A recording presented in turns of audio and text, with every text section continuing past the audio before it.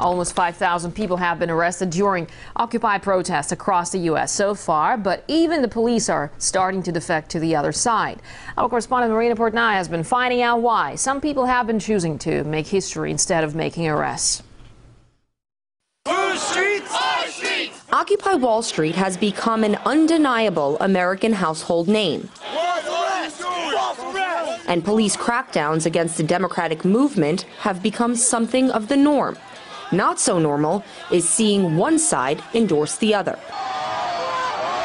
Retired Philadelphia police captain Ray Lewis became the game changer on November 17th arrested while demonstrating with Occupy protesters on the streets of New York City. The 24 year veteran was held in police custody for 11 hours and received one comment from a New York cop. Nobody talked to me. This one individual said that I had the um, testicles of an elephant.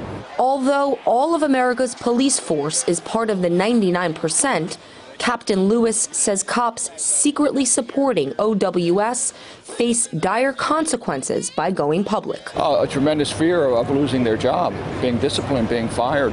And then what do they do? Everybody in the 99% has that fear. And police officers also. They cannot risk. They have children, they have wives. They, what would they do? Once they're fired, there are no jobs available. The nighttime raid on Zuccotti Park and subsequent arrest of dozens of journalists covering the story are among many reasons Captain Lewis says he temporarily transplanted to Manhattan. That's, that's, that's close to dictatorship.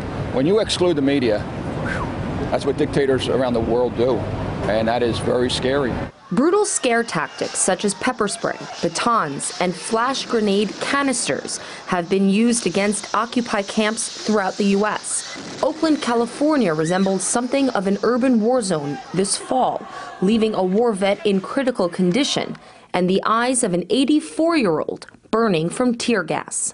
Oakland police officer Fred Chavez is the only active cop who's gone on record with his support. Like I totally agree with Occupy Wall Street, even to an extent with Occupy Oakland. I am a part of the 99%. For the most part, people are peaceful and they want to see change.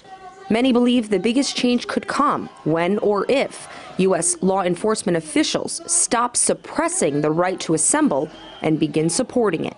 Despite his arrest, Captain Lewis is back at Zuccotti Park showing unwavering support for the Occupy movement.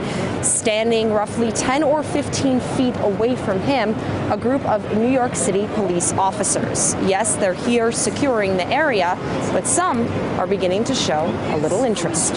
For the first time, I had an officer break ranks yesterday at the barricade line a white officer named Officer Murray. And he introduced himself and he started to ask me a few questions. I said, Do you know the risk you're taking?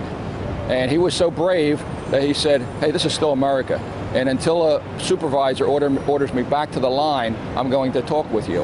I hope to get mainstream America involved, the police involved, realizing that we're all victims of corporate America and that corporate America has got to be stopped. Marina Portnaya, RT, New York.